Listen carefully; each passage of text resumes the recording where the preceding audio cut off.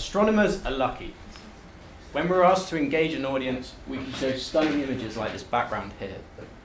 This shows galaxies billions of light years away, beaming their rays towards us from a time when the universe was just a fraction of the age it is now. I, today, I'm going to talk to you about what lies at the center of such galaxies, a supermassive black hole. The thing about black holes is they're kind of dark. Their very definition states that light cannot escape their immensely strong gravitational field. However, this gravity leads to gas spiraling into the black hole, and it forms a hot disk, like this artist's impression here, which emits bright light. My work involves studying these objects, which are called quasars. They are the most luminous type of objects in the universe. And in particular, I study the complicated feedback between them and their host galaxies. This feedback is carried out by something called a wind. We know these winds are there, which are, the winds are huge plumes of gas which rise from the disk and deposit material in the galaxy.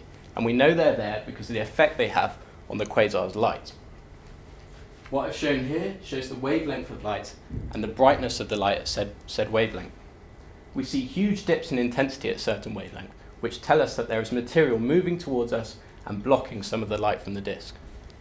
It's called the Doppler effect, and it's the same technique that speed cameras use when they're trying to trap you when you're speeding, but this time it has slightly more positive implications. So what do I actually do, and why does it even matter? Well, I carry out huge simulations on the Iridis supercomputer up there. And I model these disk winds.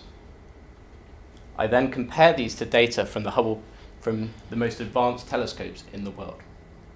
Theory informs observations, observations inform theory. It's a symbiotic relationship, not that dissimilar from the relationship between the black hole and the galaxy itself. And it enables us to get a unique insight into how these objects co-evolve together. I've briefly explored a few themes today. Themes like symbiosis, feedback, evolution. These are buzzwords throughout science. Understanding the cosmic versions of them is no less important than those we study in, say, climate science or in ecosystems.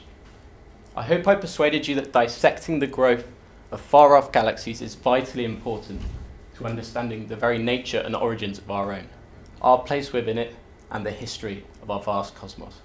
Thank you.